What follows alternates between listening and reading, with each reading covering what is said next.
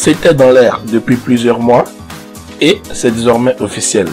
En effet, ce 12 juillet, le FC Barcelone a officialisé l'arrivée d'Antoine Griezmann chez les Catalans. Le FC Barcelone a levé la clause libératoire du joueur Antoine Griezmann. Le coût de la clause est de 120 millions d'euros. Le joueur signera un contrat avec le club pour les 5 prochaines années jusqu'au 30 juin 2024.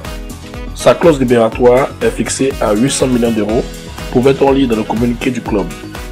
C'est un rêve qui se réalise pour l'attaquant français, vainqueur de la Coupe du Monde 2018, qui rêve désormais de gagner la Ligue des Champions avec le Barça. Il a même accepté de baisser son salaire pour faciliter un accord. Lui qui touchait auparavant 23 millions d'euros nets chez les Colchoneros. Il gagnera maintenant 18 millions d'euros à Barcelone. Avec ce transfert, Antoine Griezmann devient la troisième recrue la plus chère du club, juste après Ousmane Dembélé, acheté à 125 millions d'euros.